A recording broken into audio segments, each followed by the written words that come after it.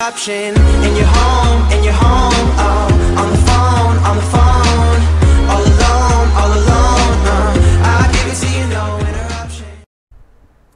what's going on guys? Is here. Today in this video, it's going to be a video on how to change your startup console ID. And what this is, it's the console ID um, that your PS3 boots up with. And if you guys know, um, when you boot up your PS3 with a banned console ID, which is usually your original one, you know, when your original ID gets banned, you have to set a new one using Control Console Manager from your computer connected with your IP address, which is really annoying. So, if you look on the screen, I'll get this error when I try to sign in, which means I'm basically banned. Um, because that's my original console. It does not work. And things you'll need is only this only works on an ITA 4.50 PS3 or a 4.55. So it has to be an IDA firmware, okay? IDA. No, not Rebug. Sorry for Rebug users, but I really recommend going to IDA. So what you guys want to download the CFW setup v4 and start that up.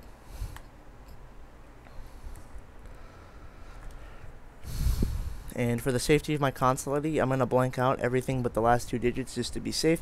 Um, so what you guys want to hit on is change console and you can also install the 4.60 spoof if you haven't already. Um, but yeah, just hit change console and you'll see that it has all the zeros right here. Um, so what you guys want to do is get a console you want to use, alright? So be, I'll just use this one right here. Alright, so I'm going to go ahead and black everything out because I don't want you guys seeing my console ID, obviously, for safety reasons. So uh, I should be blacking it out right now. And I'm going ahead and typing my console ID in. And um, don't worry, uh, you won't be able like um, you won't accidentally type your console ID wrong because um, if you, after you have the right amount of digits, it won't let you type anymore. So that just uh, you know means you have it all good. Um, Alright, I just set my console ID and um, now you'll see it's at the bot if you hover over change console ID it'll be at the bottom now it'll say CID and I'm still blacking out the last two digits because I don't want you guys to see it but now you're going to hit save settings and exit and you will exit to the XMB menu and um, be sure to give this video a thumbs up. This is a very helpful tutorial. Uh, it's pretty simple, but um, yes, I just want know make sure you guys know what the hell's going on. So what you guys want to do is turn off your system.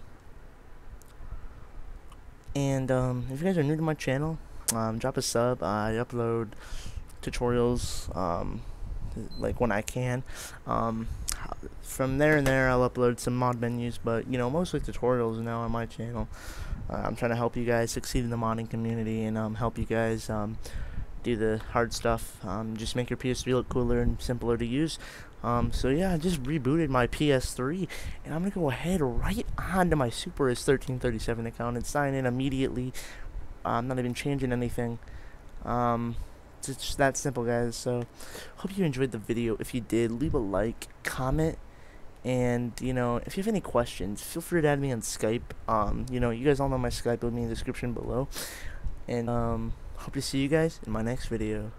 Peace!